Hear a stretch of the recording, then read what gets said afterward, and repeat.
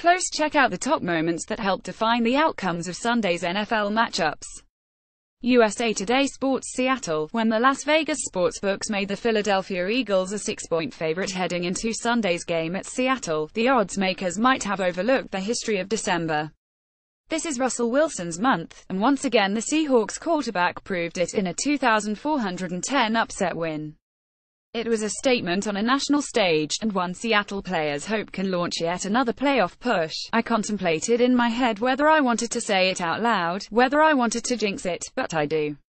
I believe that this is the start of something that we've seen in the past, receiver Doug Baldwin said. We're looking forward to capturing what we have tonight and using this to make a run. Baldwin relayed the same message directly to Wilson privately after the game, but the quarterback likely doesn't need the reminder. Wilson knows how much December games matter, and his performance Sunday night in a head-to-head -head matchup with Eagles quarterback Carson Wentz may have altered the MVP race heading into the final month of the season.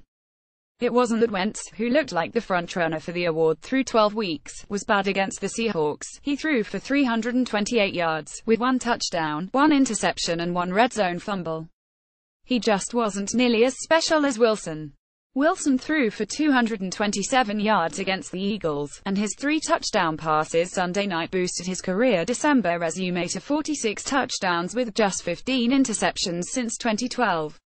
The Seahawks improved to 185 in December games during Wilson's tenure. You always want to have this constant progression, Wilson said.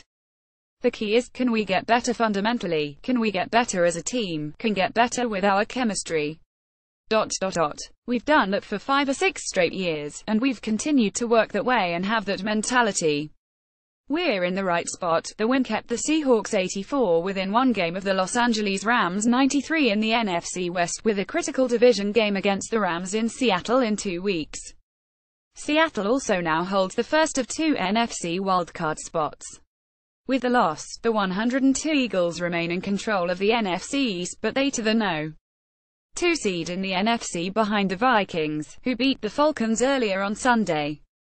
Seahawks players knew the Vegas line and felt disrespected. The six-point spread for the Eagles was the largest a visiting team has been favored in Seattle by since 2011, before the arrival of Wilson and the birth of the Legion of Boom secondary.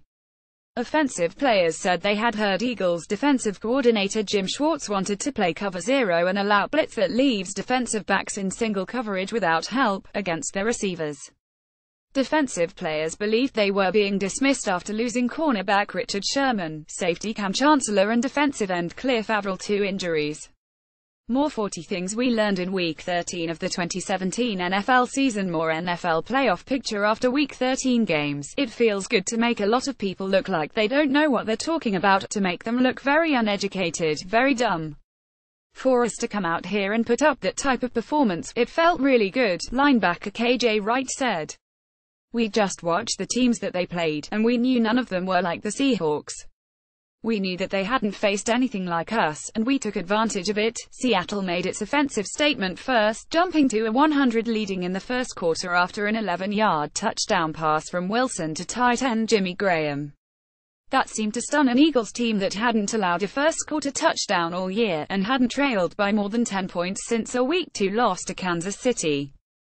The cover zero call from Schwartz that the Seahawks had been expecting came in the second quarter, and Wilson made the Eagles pay for it with a 47-yard pass to Baldwin deep down the left sideline.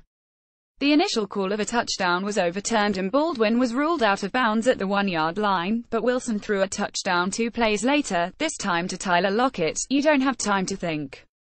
You just have to react and play football. In those moments, I think that's when we're at our best, Baldwin said. Russell doesn't have to think, he knows where the ball is going. Receivers, we don't have to think, we know our routes. We don't have time to make anything up. We just get the ball out and execute. The Seattle defense, meanwhile, showed it is adapting to life without Sherman on injured reserve with a torn Achilles tendon and Chancellor out for the season with a neck injury in one of its most dominant performances of the season against an Eagles offense that had been averaging a league best 31.9 points per game.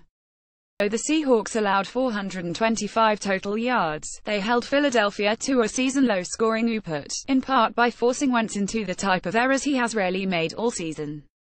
Defensive tackle Sheldon Richardson stripped the ball from Wentz's arms on a quarterback sneak inside the two-yard line in the second quarter, and the ball ricocheted up in the air and out of the end zone for a touchback. Late in the fourth quarter, with the Eagles trailing by 14 points and Wentz trying to lead a rally, cornerback Byron Maxwell holding an interception in the end zone.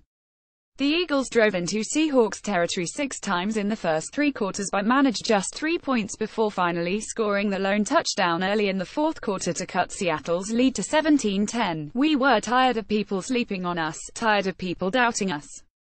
We understand that we had huge losses but we have a lot of dogs in this room still, linebacker Bobby Wagner said. And that starts with Wilson.